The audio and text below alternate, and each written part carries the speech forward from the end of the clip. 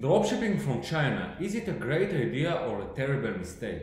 So a lot of people are saying that when you dropship from China, your account will be uh, in risk and it can uh, cause a lot of damage to your account and that the buyers will not buy from you because the shipping time is very long. So today I want to talk about the pros and cons uh, with working with China and why I think that this is a great idea and not a terrible mistake.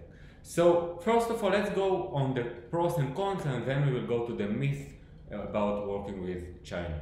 I'm Lior Pozin, I'm owner and CEO of AutoDS. Write in the comments if you are working with China right now and if you are planning to start working with China right now.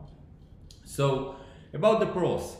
First of all, uh, high profits. When you work with Chinese suppliers, Chinese suppliers are working with the big numbers rule, same as I believe that you should work in, on eBay. On China, uh, Chinese suppliers are just trying to sell as many products as possible, even if they are making a very, very low uh, profit margins.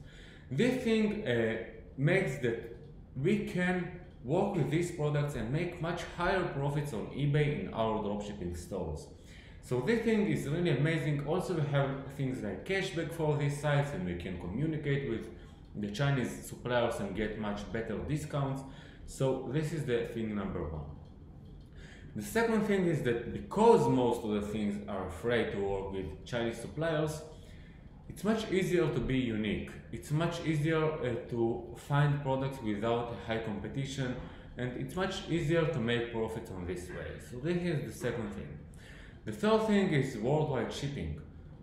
If you will go to a site like, for example, SimilarWeb, you can see that only 62% of the traffic of ebay.com is coming from the United States. It means that you have an, another 40% of the world of the of eBay's traffic which when you work with sites like Amazon without global shipping program, you will not ship to these addresses. When you work with Chinese suppliers, usually you have a very cheap shipping to worldwide and then you can get much more sales and much more market to your products. The next thing is suppliers that support dropshipping. Chinese suppliers like uh, dropshipping, then they will give you any contract that you request for them. For example, Banggood.com have a contract with Banggood and if you contact Banggood or actually our customer support, you will get a contract and this way you can just provide it to eBay if eBay requests it from you. The next thing is uh, that I want to go with you over the cons, the minuses of working with Chinese suppliers.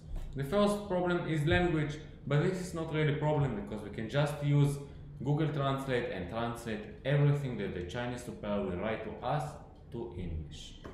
The second thing is that people are saying that uh, Chinese suppliers don't have a good customer support. This is right. They have less, uh, less, they have less good customer support than American suppliers, but we can still work with them. And the Chinese suppliers, which have good feedbacks, for example, on AliExpress and have experience, they still give a great customer support. You just need to know how to work with it. And I will record a full video about how to give and American customer support with Chinese suppliers soon.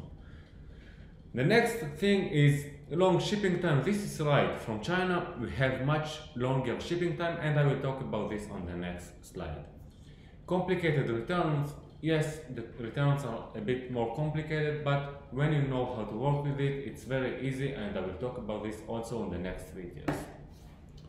So let's go about the myth of working with China low quality products. So people are saying that uh, when you work with China, you have very low quality products and then it will affect your store and you will get a negative feedback and things like this. This is pa uh, partially right, but not really. There are some tools that can help you to find the good products from China. Also, if your seller has more than 95% of positive feedbacks and the seller is a long time seller on AliExpress, for example, you can be sure that the products will be fine. Also, each product has reviews and you can just see that these products are fine. So not, not all of the products are fine, but in the United States also you have bad quality products, so it doesn't matter. You just need to focus on a specific product and know if this product will sell good for you or not and if this product has a good quality or it doesn't.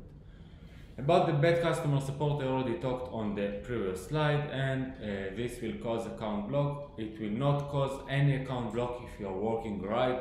And today and now I want to talk with you about how to work right with this uh, Chinese supplier. So many people are saying that uh, people will not buy from you because your shipping time is long. But this is not right because many people in the world prefer to wait a bit longer, maybe two weeks more, but to get the products with much cheaper prices.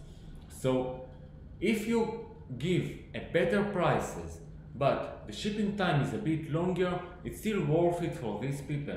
So I really recommend to work with Chinese suppliers because the prices are cheaper, the customer support is not that bad as people are saying, and uh, you can really provide cheaper prices and get much more traffic to your store because many people are sorting on eBay by price.